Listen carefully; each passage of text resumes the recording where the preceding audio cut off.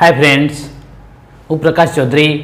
આજે આપની સમક્ષ વિજ્ઞાનની અંદર આગળ રાશિઓમાં સાપેક્ષ રાશિ, નિરપેક્ષ રાશિ, સદિશ રાશિ અને અદિશ રાશિ વિશે વિશેની ચર્ચા આપણે આ વિડીયોમાં કરીશું.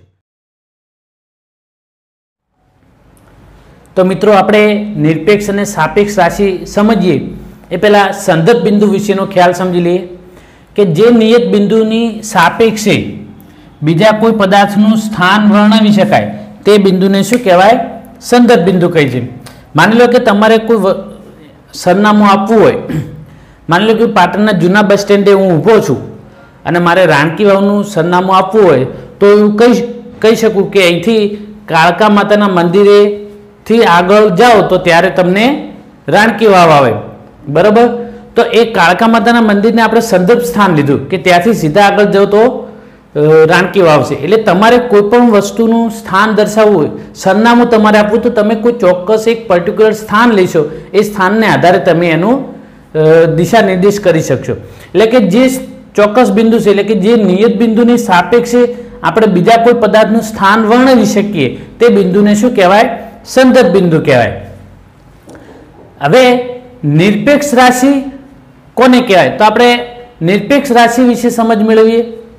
કે જે રાશિ દર્શાવવા કે વર્ણન કરવા માટે, જે રાશિ દર્શાવવા કે વર્ણન કરવા માટે અન્ય કોઈ સંદર્ભની આવશ્યકતા ન હોય, કોઈ સંદર્ભ બિંદુની આવશ્યકતા ન હોય, તો તેવી રાશિને શું કહેવાય?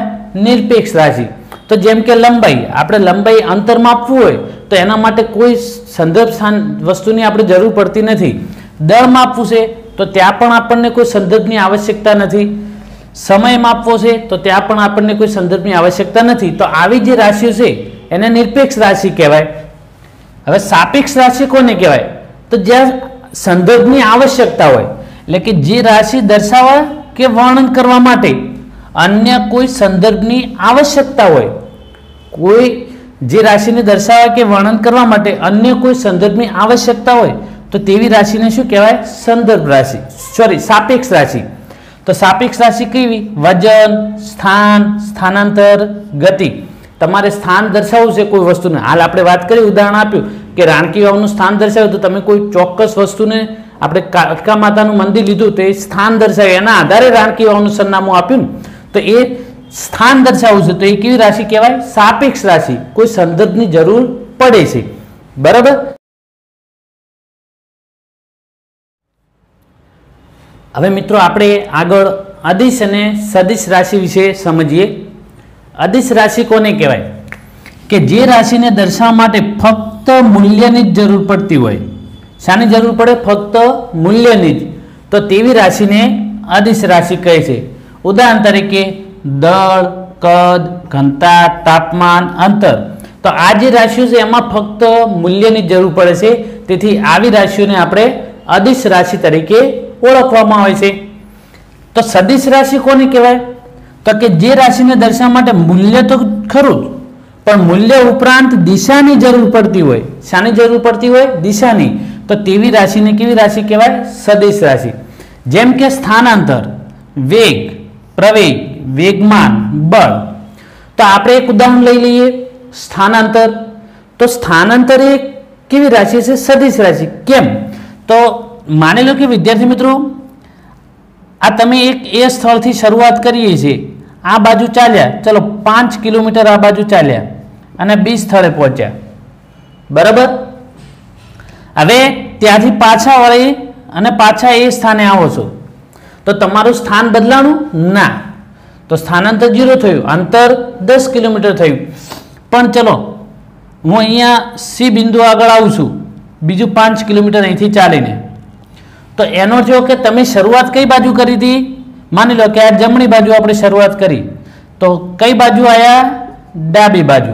તો સ્થાન કઈ બાજુ થયું? બદલાયું. તો એની ડાબી બાજુ. તો આ સ્થાનાંતર કેટલું થયું? પાંચ કિલોમીટર. પણ કઈ દિશામાં? ડાબી બાજુ.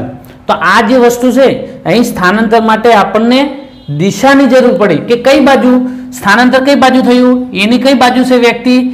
જમણી બાજુ કે ડાબી બાજુ? તો ડાબી બાજુ પહોંચીને વ્યક્તિ. તો એનો અર્થ કે અહીંયા દિશા જરૂરી છે. બરાબર? તો જે રાશિને દર્શાવવા માટે મૂલ્ય તો ખરું, પણ મૂલ્ય ઉપરાંત દિશાની જરૂર પડતી હોય, તો તેવી રાશિને કેવી રાશિ કહેવાય? સદિશ રાશિ. તો સ્થાનાંતર, વેગ, પ્રવેગ વિજ્ઞાન બળ વગેરે કેવી રાશિઓ છે? સદિશ રાશિઓ છે.